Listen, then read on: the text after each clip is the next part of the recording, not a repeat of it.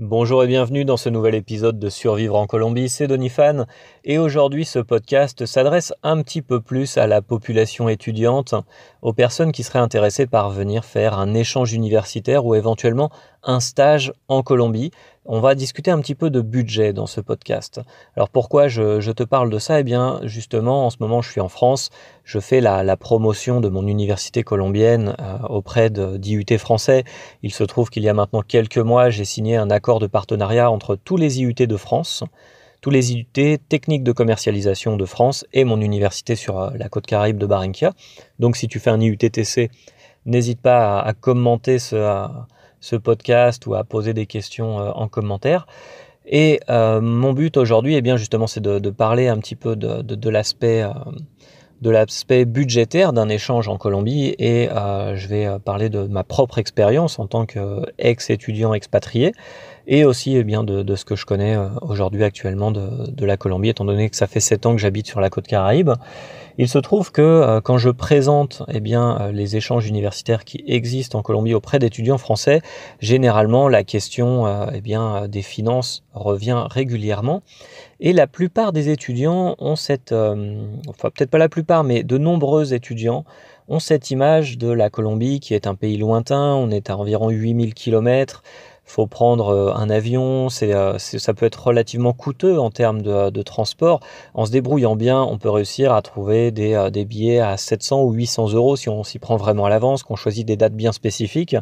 Mais ça peut aussi tourner à 1000, 1200 euros l'aller-retour. Et donc c'est quelque chose qui rebute beaucoup d'étudiants et certains, eh bien, rayent de leur liste la Colombie comme en tant que en, tant que pays euh, potentiel pour s'expatrier et étudier euh, six, mois, un an. Et je pense que c'est vraiment dommage déjà parce que la Colombie a énormément à apporter en termes de choc culturel, euh, d'éducation, d'apprentissage, de découverte d'une autre, d'une autre façon de penser et de vivre. C'est vraiment un un monde totalement différent de, ce que tu as pu connaître en Europe. Donc vraiment, je t'invite à ne pas retirer cette, cette, destination de ta liste. Et ensuite, en termes de budget, eh bien, euh, c'est certain qu'un billet d'avion, ça coûte beaucoup plus cher qu'un billet de, billet train, par exemple, pour aller euh, en Allemagne ou euh, pour passer le tunnel, le tunnel sous la Manche et aller en Angleterre. Ça coûte aussi moins cher que prendre un, vol low cost pour aller en Italie ou pour aller à Barcelone ou à Madrid, c'est certain.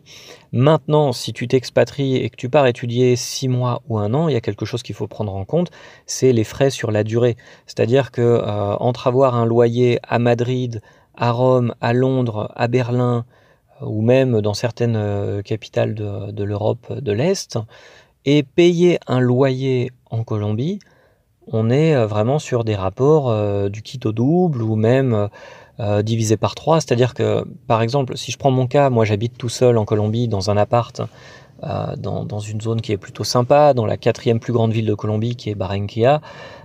je paye, aujourd'hui, aujourd'hui on vient juste de m'augmenter un peu mon loyer, je paye 750 000 pesos. C'est-à-dire qu'en fonction du taux de change, pour habiter seul dans un appart, dans un coin vraiment sympa, dans une petite résidence très sympa et très calme, je paye, on va dire, aller à 250 euros.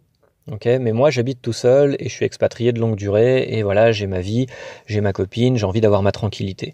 Maintenant, pour un étudiant qui vient tout seul dans la même ville, qui est vraiment une ville très sympa, avec 35 degrés euh, tous les jours, du soleil en permanence, pas comme en ce moment euh, en décembre, je suis en France, là en décembre, ça commence un peu à me déprimer, ça fait 7 jours que j'ai pas vu le soleil, euh, eh bien, tu vas payer, tu peux t'en tirer pour 150 euros ou 200 euros pour avoir une chambre au sein d'une famille colombienne, être en contact avec la culture de manière permanente, développer ton espagnol, mais en plus de seulement avoir une chambre, justement, tu n'as pas seulement une chambre, tu auras ton petit déjeuner le matin, ton repas le soir, et on s'occupera de tes habits. Donc je t'invite à euh, te renseigner auprès d'autres personnes pour voir qu'est-ce que tu peux trouver au Canada par exemple pour 250 euros par mois, qu'est-ce que tu peux trouver euh, en Espagne, en Italie, en Pologne, en Allemagne, en Angleterre, en Roumanie ou où tu veux pour 200 euros ou 250 euros par mois, on est même plutôt sur du 200 euros. Euh, parce que 200 euros c'est déjà un beau budget, on est déjà sur du 600 000 pesos.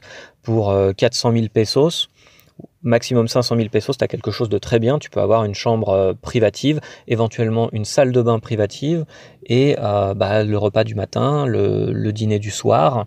Et on s'occupe de ton linge et tu es au sein d'une famille. Donc c'est vraiment de l'immersion 100% complète, totale.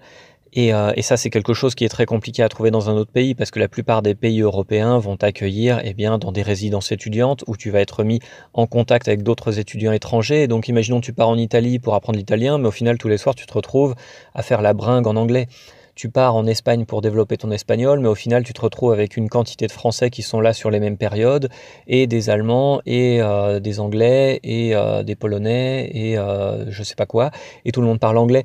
Donc finalement, d'un point de vue immersion dans la culture, et d'un point de vue budgétaire sur le long terme, la Colombie et l'Amérique latine de manière générale, c'est vraiment un meilleur plan pour, euh, pour un étudiant.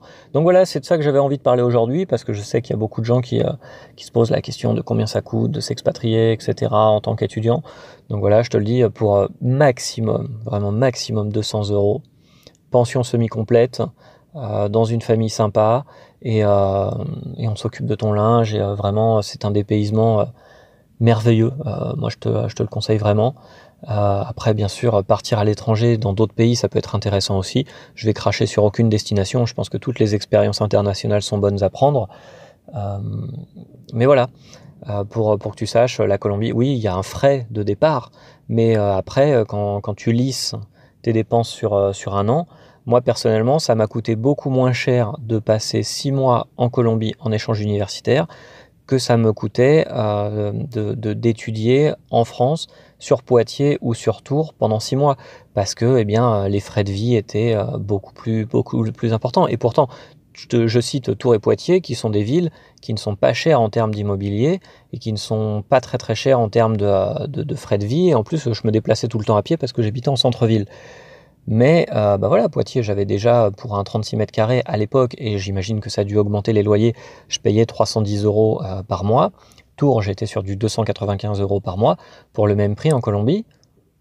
Je mangeais, euh, je me logeais et je sortais un peu. Donc c'est vraiment quelque chose qu'il faut prendre en compte euh, au moment de, choisir ta destination. Si tu es ric-rac au niveau des finances, c'est pas parce que le billet d'avion est cher qu'au final, euh, à la fin de l'année, eh bien tu vas te retrouver avec avec des dépenses qui auront été vraiment excessives. Donc voilà, tiens en compte si, tu, si tu comptes, si tu veux partir en Colombie pour étudier. Euh, n'oublie pas que sur le blog colombianito.fr, je t'ai mis tous les détails pour, euh, pour tout ce qui est euh, visa, etc. D'ailleurs, il y a aussi un article qui parle de mon premier jour d'échange universitaire qui s'est passé d'une manière un peu un peu folle. Je vais te mettre les commentaires, euh, pardon, je vais te mettre les, euh, liens en commentaire de, ce podcast, en commentaire de la vidéo. Tu as juste à cliquer et puis hop, tu arriveras directement sur, euh, sur les articles qui peuvent t'intéresser.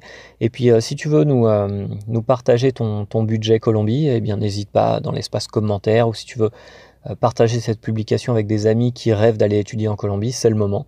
Et je te dis à très bientôt dans d'autres, pour d'autres émissions et d'autres podcasts sur le business, la Colombie, l'expatriation et les chocs culturels. À très bientôt.